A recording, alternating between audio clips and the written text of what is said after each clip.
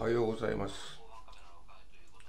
今日は北海道旭川市旭川駅前の東洋コイン宮下通りにいます。ここから見える風景をやってみましょうか。はまあ部屋の様子ですね。部屋の様子です。ベッドです。服です。ラジオが聞こえます。東京と同じラジオが聞こえます。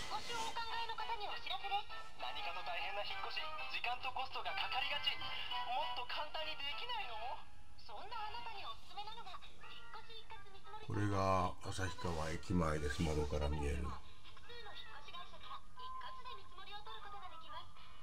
向こうの方にもう一個東洋コインが見えます。駅前に2つ東洋コインがあるんですね。向こうは東洋コイン一条通りっていうです。こっちは宮下通りもっと駅に近い方とですよね。すぐ真下にこんな広い駐車場があります。高原シャツっていう会社があるよ。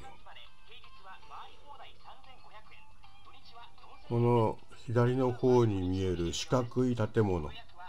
四角い建物へ線路が入ってってますね。ここが新しい旭川駅ですね。できたばっかりみたいです。ごくそのなんか何にもないくガラーンとして広いよ。これからいろんなものができてくるんでしょうね。うん。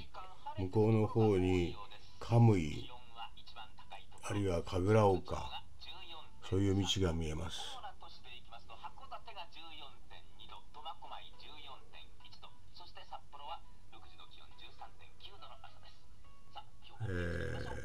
結構いい天気なんですけども今日はまた突風とか竜巻に注意っていうのが北海道の気象予報です。よ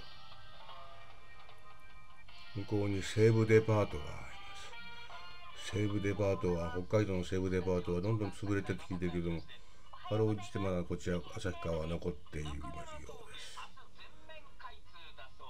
ようやく明日全面開通になります今はあのこれが東洋コイン。11階ですね。11階の部屋から見えた旭川駅前です。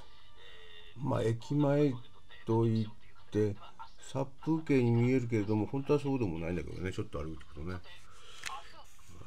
えー以上で終わります。